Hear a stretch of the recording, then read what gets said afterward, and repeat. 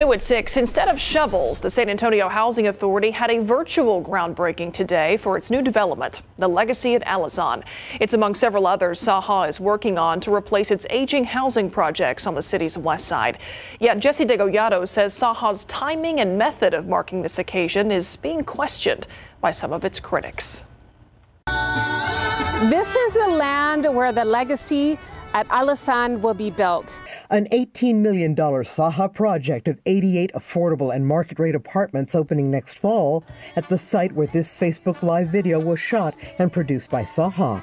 It shows an elaborate altar for Dia de los Muertos, created by two West Side artists with the help of the community.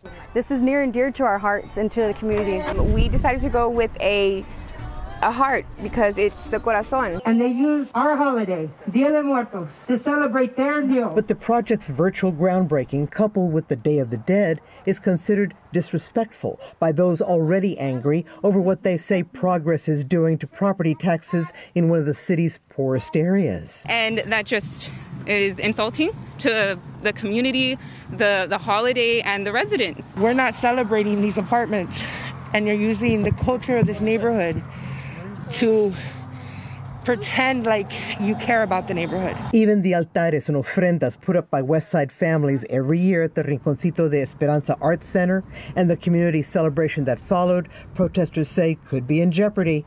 Parking and staging for those events had been on the property where the legacy at Alazan will someday stand. Jesse Degollado, KSAT 12 News.